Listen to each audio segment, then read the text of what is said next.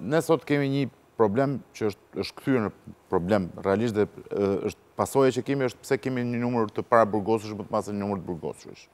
Ndonëse kodi penal dhe kodi i procedurës penal e parashikojnë arrestin me burg si një masë estreme, është masa më ekstreme që mund të merret nga gjykata dhe prokuroria, që mund të kërkohet nga prokuroria dhe të merret nga gjykata për një person nën hetim, sot është masa më e rëndomtë. Sot, në 90% të rasteve, Prokuroria vjen në njëqind për qind të rasteve, me përjashtim të ca vepra penale që kanë lidhje me drejtimin e mjetit e ca vepra të tjera që janë shumë të thjeshta, shumë të rralla, Prokuroria në nëntëdhjetë e nëntë për qind të rasteve vjen në gjykatë me kërkesën për arrest me burg. Dhe ky është deformim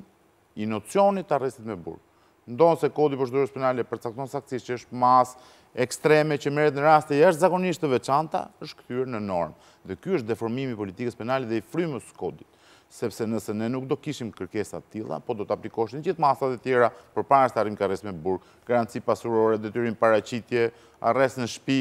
shtrim spital psikiatrik për raste të caktuara që është nevojshme, pa arritur ka arrest me burg nuk do të ishim në këto kushte ku jemi.